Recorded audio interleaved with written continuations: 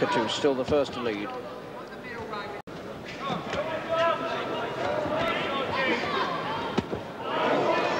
Jolting left from Feeney. The only time Harry Gibbs has spoken to him is that portion a few moments ago about the heads. I don't think he's ever had to break them.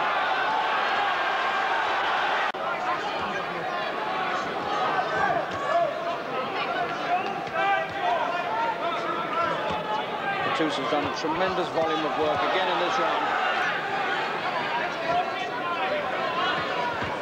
And still Cattouse keeps up this non-stop attack.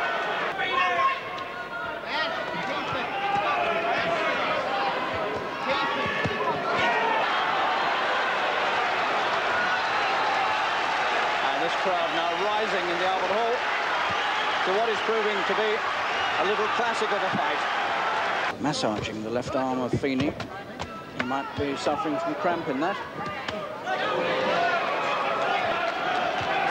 Feeney beginning to look marked under both eyes.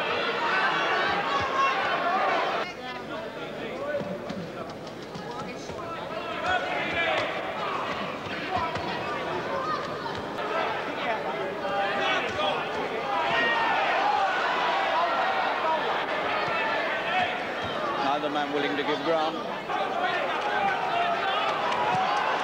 And Feeney, Feeney comes punching back again.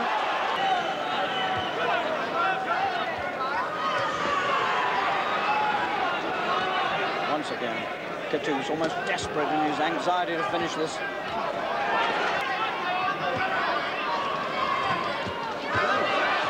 On he comes again. This thin champion who's done so much work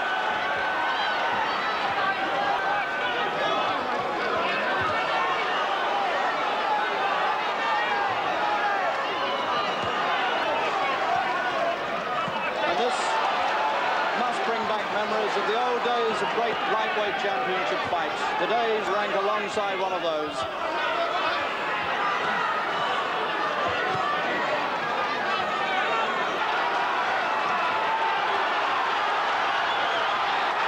And back comes Feeney, and Cattouse may be the first to crack. And Cattouse's eyes are almost shut. He's put everything into this fight to hold it. Feeney draws deep breaths can hardly raise the strength to punch. He knows the man is tottering in front of him. And Cattouse has got his second wind. And this crowd now...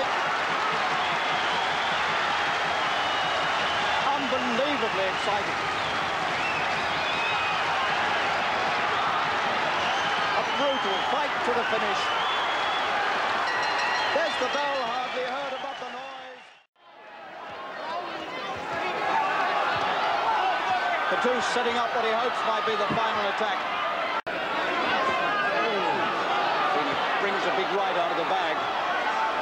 Feeney retreats.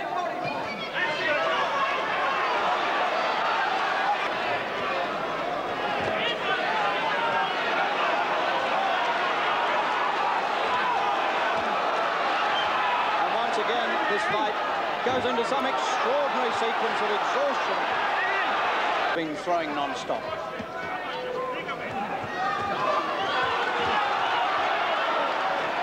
Vicious left, catches Cattouse on the chin, and he looks as though he's gone again, but he hasn't.